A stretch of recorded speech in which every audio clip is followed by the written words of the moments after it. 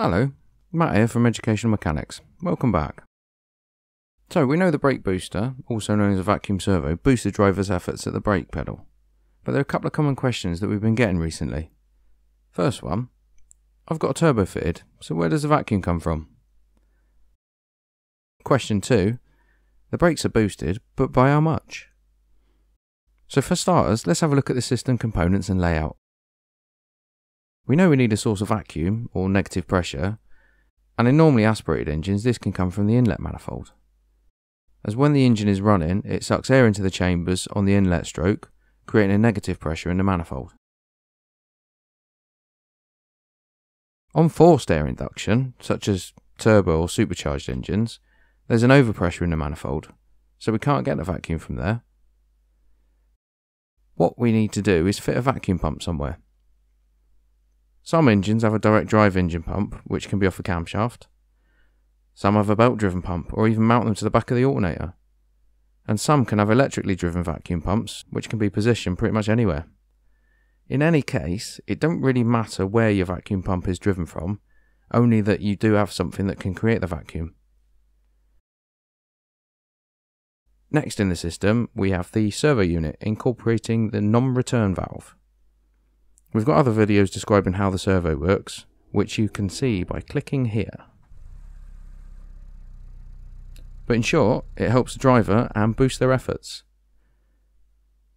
The brake pedal is physically connected to the master cylinder through the booster unit, and a vacuum is just there to help. If it has no vacuum, or the servo unit has failed, the driver still controls the brakes, just not as effective.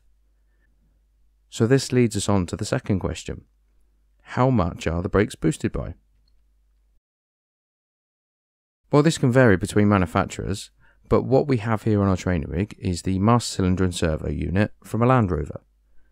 We're going to do a couple of tests and look at the brake pressures while operating the pedal at a constant force. The first test we're going to do is with the engine switched off, so no vacuum for assistance.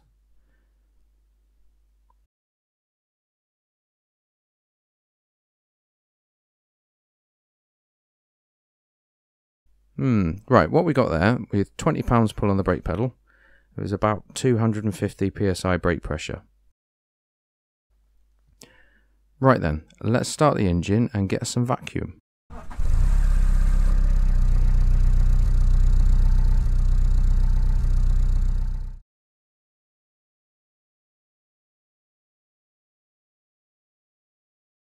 Now with the same £20 on the pedal, we now have almost 500 psi brake pressure.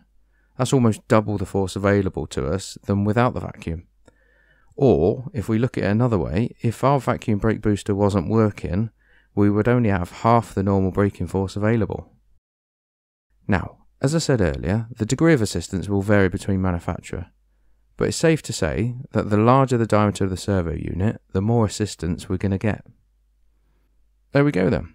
Right, what I'd like you to do now is go and have a feel of your own brake pedal and test your own brake booster servo units working.